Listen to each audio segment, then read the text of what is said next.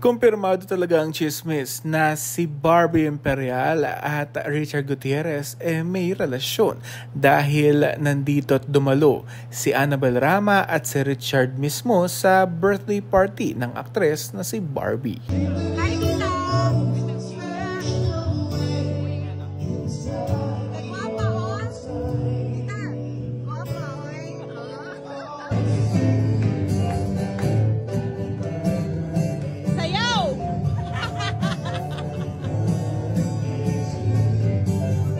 Okay.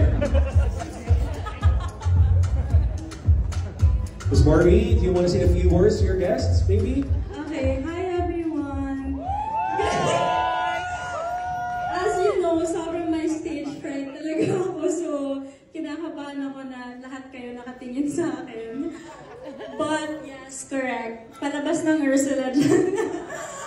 um, I just wanted to thank everyone for coming kahit umuulan. Siyempre, my my friends and my Star Magic family and everyone else. Thank you so much for being here. And ayun, sana ma-enjoy niyo yung party ko. Kasi syempre para sa inyo din to, di ba? so yun, um,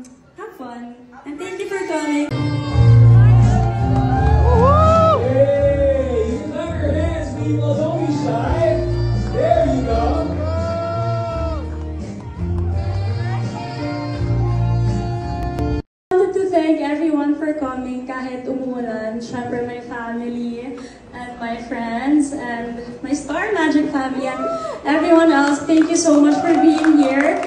And ayun,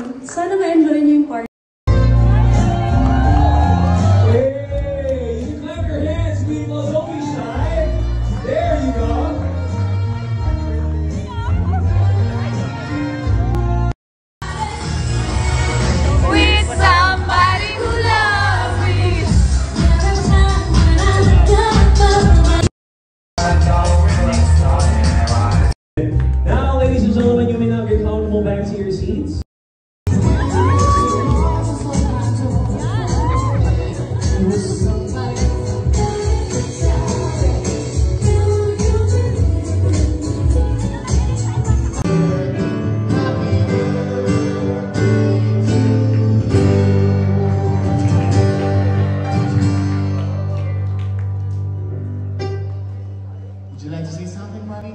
This is it. Get on your beautiful stage. There you go. Can we please give Miss Barbie Imperia another thunderous round of applause, people? So yun, um, have fun. And thank you for coming. Thank you!